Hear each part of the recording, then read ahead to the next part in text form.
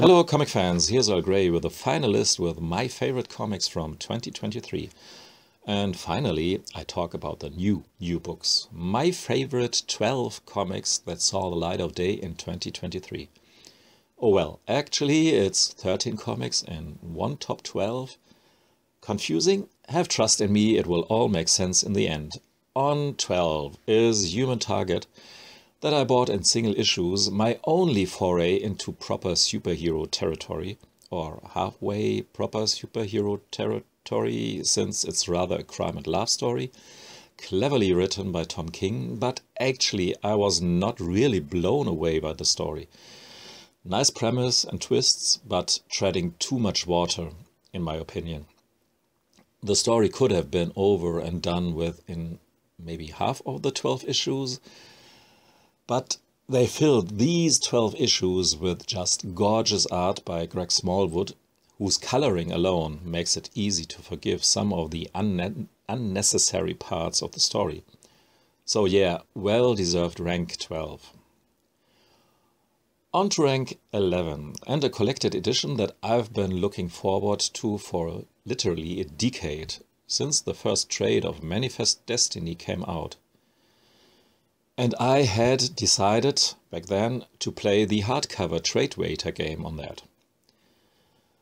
The weird adventures of Captain Meriwether and Captain Clark exploring the uncharted American frontier around 1800 triggered my fancy. A quite intriguing story and totally bonkers at the same time. This was absolutely up my alley and still is like I could confirm after reading the whole chunk of the first 24 issues collected in this brick of a book. Night Fever on rank 10 got mixed reviews. Mixed reviews for a book by Sean Phillips and Ed Brubaker that is. They usually get nothing but praises for their crime comics, but some found Night Fever unbelievable especially the ending. Well, without spoiling anything, I would counter that assessment and say that this ending probably would have been possible in the late 70s, the time in which the story takes place. I don't say that it would have been very likely, but possible. I found another thing quite unrealistic instead. Or let's say cliché, the idea of European, quotes, nightlife and parties is very, very superficial and James Bond-like to me. So it fits that you take a while to figure out whether the story takes place in Italy or France. Well, I know it's supposed to be in France, but that's not my case. But there's one aspect that I very appreciated and that lifted this comic onto rank 10 is the almost iconic treatment of a man in his midlife crisis. The main character has almost a complete meltdown within a couple of pages. And he stays in the Hotel Terminus, which should give you a hint about the mythological aspects of this book. On the bottom line, it's not flawless but breathless and quite exciting quick read that makes you think, even if you don't buy every plot point necessarily. On 9, it's Ice Cream Man, drawn by Martin Morazzo, written by W. Maxwell Prince, colored by Chris O'Halloran, with the first 12 issues of this horror comic. The Sunday edition, Volume 1, actually feels rather like an anthology by one creative team than one continuing narrative despite there's a clear story thread connecting almost all of the stories, but Prince obviously tries to create a unique MO for each issue. Be it that he plays with panel arrangements or with a story about a poor guy who has to endure eternal awakening, sort of, Sandman style, maybe, kind of. But all he ever does is to switch into another reality live show on TV, which is funny and horrific at the same time.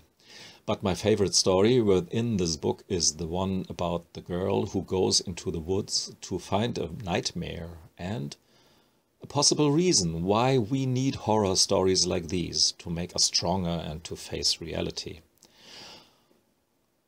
On 8, I've Uh, I have two stories in single issues, both adding up to the Matt Kindt cosmos of mind management. There's a mind management bootleg combining the talents of Farel Dalrymple, David Rubin, Matt Lesniewski, and Jill Thompson.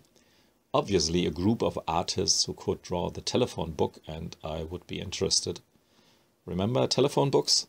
Anyways, Spy Superb has been drawn by the much more raw draftsman, Matt Kindt himself. When I say raw, I mean this as a compliment. It's an almost perfect, perfect addition to the world of mind management.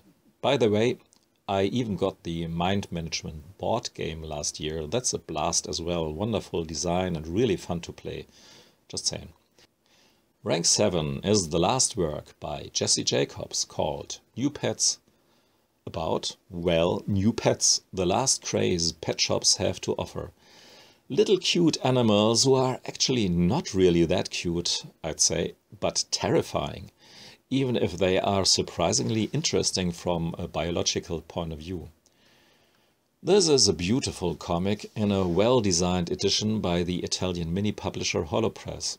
Amazing how Jacobs manages to adapt his peculiar antics every time to create outstanding stories that are easy to understand and very out there at the same time. On rank 6, uh, there are these one-man anthologies called Black Phoenix, and the one man is Rich Tommaso, doing quite wonderful homage to old crime comics in Volume 1 and to romance comics in Volume 2, both with a slight dash of horror comics as well. He's all about recreating the special style and atmosphere of these comics or rather adapting that into his own style, because whatever he does is clearly and obviously Tommaso. Even if I wished that he would rather continue his stories, he is far more into telling the beginnings and premises of different stories. Most of them won't be finished by him, apparently, but you can figure out the continuations in your own head. I talked quite a bit about Rich Tommaso's Black Phoenix in Panellogy 517, so if you want to have a deeper look into these anthologies, check that out. No European creators so far in this video's list, but this changes now with Thorgal Saga, Adieu Aaricia, Thorgal's Saga is a new series of standalone stories by different creators adding to and enriching the Viking world of Thorgal. One of the best comic series ever written and told. Adieu Aaricia is in a way old man Thorgal in grief about the death of his wife. Burying her Viking style, but then he gets a twisted proposal by Nidhöggr, the snake god. I don't want to say more about the story, which is obviously aimed at long-time Thorgal readers who will feel the emotional oomph much more and who can appreciate the clever use of the familiar and the rather unfamiliar characters. But I would recommend this comic even for newbies to the Thorgal verse. I mean, you have to start with Thorgal sooner or later, just you have to.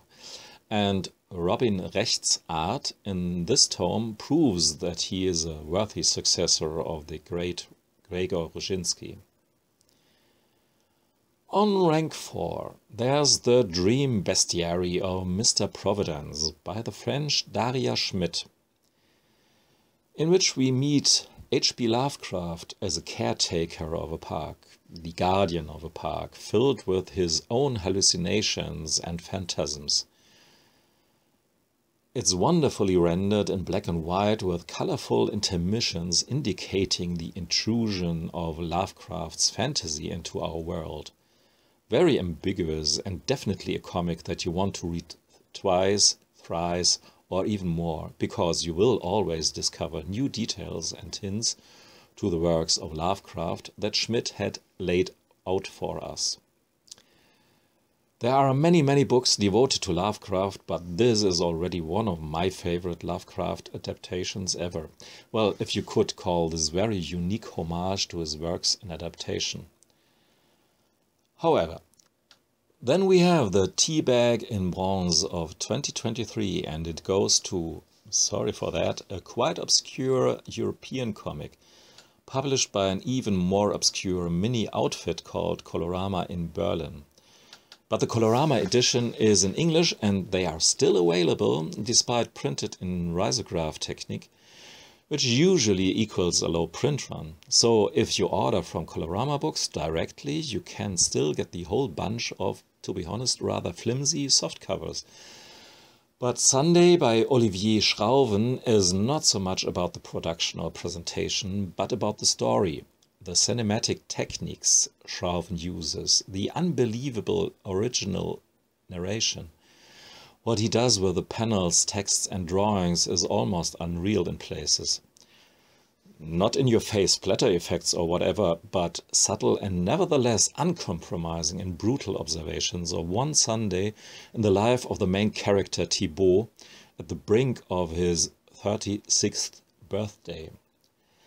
I spoke about Sunday and some other stuff by Colorama in Panelology 518. Did you like Day Tripper by Fabio Moon and Gabriel Ba? Well, here's more of this kind of heart-wrenching stuff, even though The Many Deaths of Laila Starr follows its own narration paths and has a lot of unique ideas. It still bears some slight similarities, at least on the surface. But to close this comparison with Day Tripper, I just have to say that I liked Laila Starr even more. But regardless, both are fantastic comics, of course. This book, drawn by Felipe Andrade and written by Ram V, is a real trip of a book. Starting in a wonderful, absurd manner with an hip Indian female version of death being summoned and eventually fired by her douchebag god boss, he has no use for her, since it is written that one human will find the means of everlasting life in order to get her job back, the former death now tries everything to kill this particular human being. So far, so wonderfully absurd, but believe me, in the run of just five issues, this book has become a real tearjerker for me. A philosophical, beautiful piece of pure art, shining in the lush colors by Ines Amaro. To be totally fair, the many deaths of Laila Starr should have been number one on my list here. In my opinion, actually, it should be number one on everybody's list. But well, lists are subjective, and for me, there was just this unforeseen and magic continuation, respective conclusion of Jacques Tardi's The Extraordinary Adventures of Adele Blanc-Sec. It's the 11th album in this weird cycle of stories around Tardi's tough heroine set in the time before and after the First World War. Adele or Adele fights mad scientists, some revived pterodactyls, mummies, occult mobsters, and countless other criminals in one continuing and deliberately loose yet cramped narration. It's really a don't get it, I don't get it, or I love it thing, for me clearly the latter is the case, as maybe the self-made slipcase proves that I made for the whole series. Well, that was it for the year 2023. On to a new year filled with wonderful old and new comics. Thanks for listening and watching. Goodbye.